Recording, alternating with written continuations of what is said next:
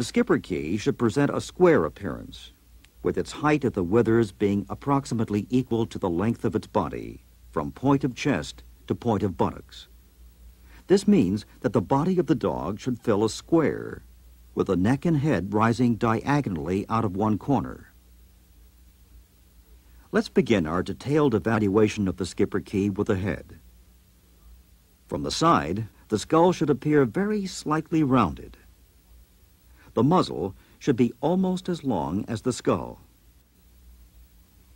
The underjaw is strong and well defined, but not blunt or squared off. The stop should be definite but not prominent. From the front, you can see that the skull is fairly wide at the base, narrowing at the eyes. You can see here that the Schipperke expression is sharp and lively. Also notice the correct wedge shape of the head. This head is very faulty. The too round skull, prominent round eye, deep stop, and pinched-in muzzle detract from the desired expression. There is too abrupt a stop with a heavy brow. Not enough stop is as faulty as too much stop. Here, on the other hand, the muzzle is long in proportion to a too narrow skull. This muzzle is too fine and snipey. This Schipperke lacks stop. The head should always balance with the body, never appearing either too coarse and heavy or overly refined. The difficult art of breeding Schipperkes is to produce the correct cobby body with a well-formed head. This correctly proportioned head includes a slightly rounded skull, a distinct but not prominent stop, and a well-proportioned strong muzzle. See how the upper jaw is well filled in under the eyes, allowing the muzzle to taper smoothly to the nose. And the lower jaw is somewhat less substantial, but neither blunt nor receding. Note also the correct straight bridge of the nose. A so-called Roman nose with its curved bridge is not desirable.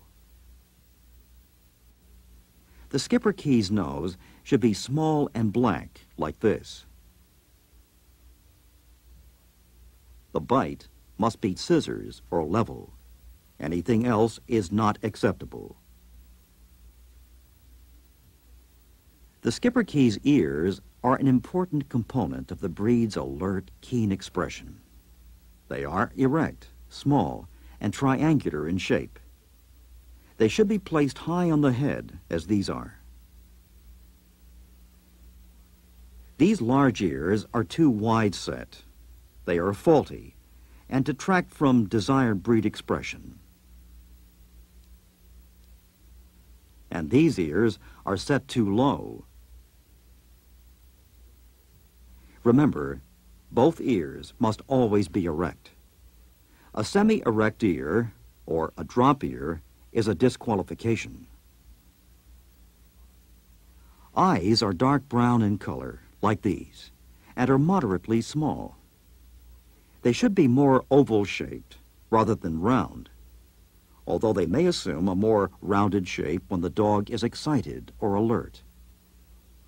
See how the eyes are placed forward on the head rather than to the side, and are neither sunken nor prominent.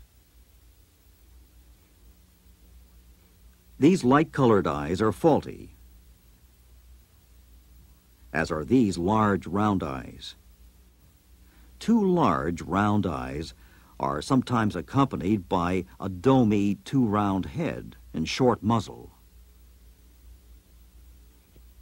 Here again is the correct Schipperke head with a slightly rounded skull and correct skull to muzzle length proportion. Note also the correct wedge shape of the head and the erect small triangular ears placed high on the head, and the oval-shaped eyes. Taken together, the Schipperke expression has been referred to as fox-like.